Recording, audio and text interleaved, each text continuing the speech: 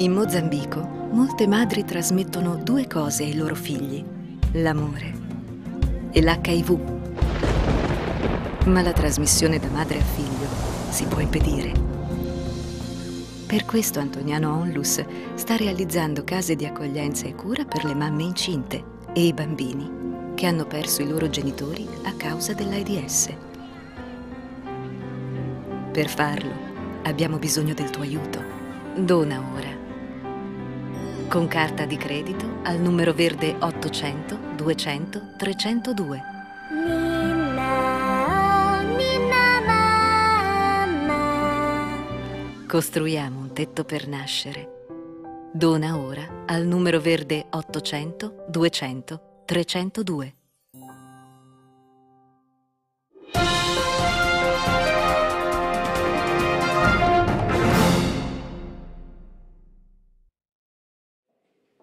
Ha riscosso grande successo la fiera sociale del libro svoltasi a Castrovillari a metà dicembre su iniziativa dell'amministrazione comunale che l'ha organizzata tramite Marco Gatto e Antonello Fazio con la collaborazione di Gaetana Evangelista e Giuseppe Martino. La città del Pollino ha ripreso, con la guida del sindaco Domenico Lopolito, un vecchio filone culturale e sociale, ricandidandosi a ricoprire nel panorama culturale regionale il ruolo di vivace capoluogo intellettuale.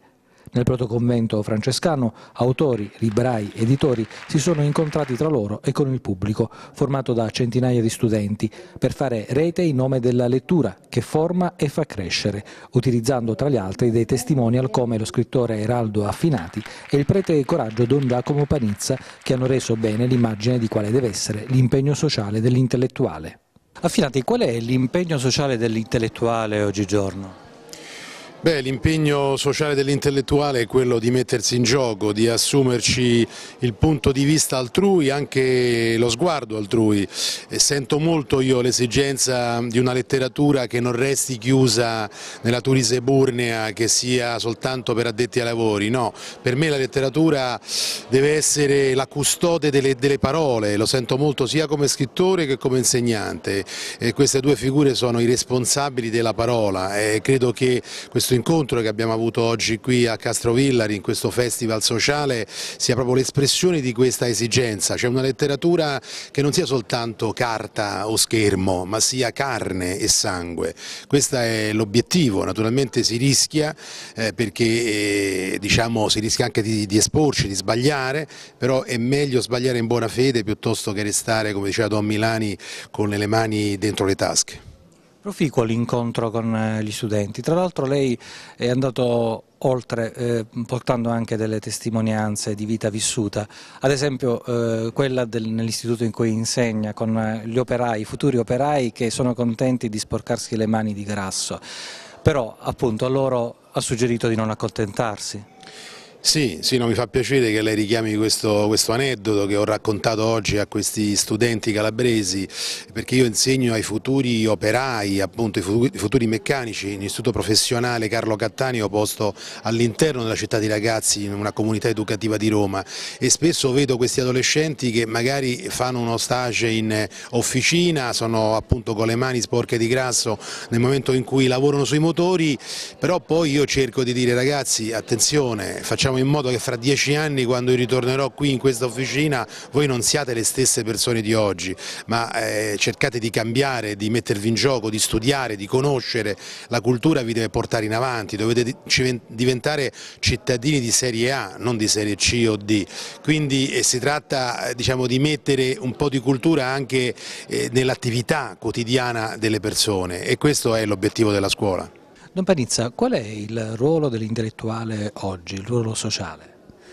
Ma il ruolo sociale e intellettuale è, è quello umanamente e non soltanto intellettualmente di parlare dell'umanità, di parlare della realtà e di parlarne in una maniera non da venduto, in una maniera libera e di parlare a tutti tutti e tutte, cioè l'intellettuale di solito lo si confonde con, con la persona eh, che parla a pochi perché parla difficile. Oggi più che mai è importante parlare a tutti e farsi capire da tutti. Io non credo che le cose grandi della vita debbano essere spiegate con parole difficili o con frasario difficile. Credo che le tante persone, le tante culture che oggi stanno, ci stiamo incontrando. Abbiamo bisogno proprio di diventare tutti più intellettuali. Ecco, questo le volevo chiedere, tutti possono aspirare a diventare intellettuali grazie anche ai nuovi sistemi di oggi? Grazie ai nuovi sistemi, ma io credo anche grazie ai vecchi sistemi, cioè il fatto di, di, proprio formulare una parola dicendola o scrivendola, il fatto di parlare con, parlare a e non parlare. Perché certe volte troviamo degli intellettuali che scrivono sui giornali o, sulle, o anche le televisioni che essendo venduti devono parlare e non parlare, devono dire e non dire. Qui si tratta proprio di dire la storia di dire i fatti, di dire i significati e perciò tutti possiamo dire, oggi più che ieri però uno può parlare attraverso eh, la sua testata del giornale o la sua tv, Oggi si può parlare anche in tantissimi modi, specie con internet e così via, però il punto qual è? Non soltanto dire, ma avere cose bellissime da dire e certe volte è bellissima anche la cruda verità.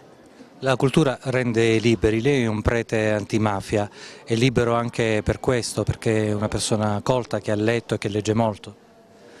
Non lo so, io sono un prete che fa il prete, dopo sono questi mafiosi che sono anti me, no? Eh, io se, se, se, se, fossero, se fossero più civili e più umani sarei contentissimo, però eh, credo che le cose che mi è capitato di leggere, di studiare, ma anche di pregare, credo che mi hanno aiutato a dire di più.